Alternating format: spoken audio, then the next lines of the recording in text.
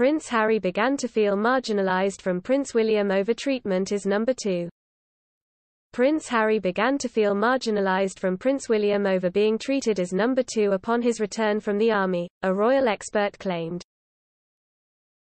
Prince Harry reportedly had a close relationship with Prince William when they were younger.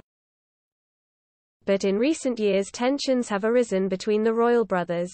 The rift has escalated further since Harry's exit from the royal family two years ago. After leaving the army, Prince Harry struggled with adjusting to royal life and, in particular, the number two treatment he endured which left him marginalized from his brother, according to royal expert Tina Brown. Speaking to Lorraine, Ms. Brown said, Harry and William have begun to have, a sort of, growing dissonance between them. Harry was so happy in the army, you know, he had ten amazing years.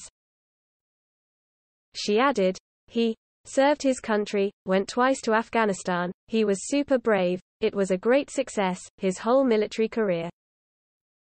When he came out, he felt, sort of, rootless, he felt a bit lost. He kind of rattled around, while his brother, William, was now set on the path for kingship. William was now groomed to be king, his destiny was clear, and at that point, the memo suddenly hit him that he was number two. Ms. Brown continued, he was going to be treated like a number two, inevitably.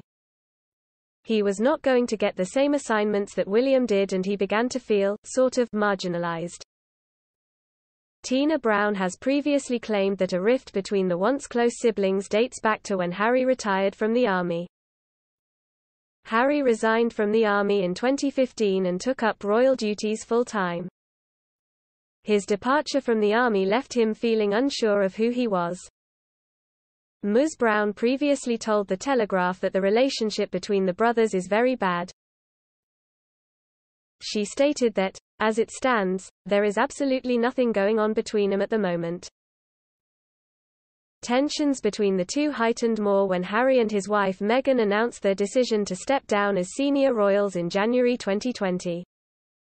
However, the pair had been persistently dogged by rumours of an ongoing rift for months since the marriage of the Duke and Duchess of Sussex in 2018.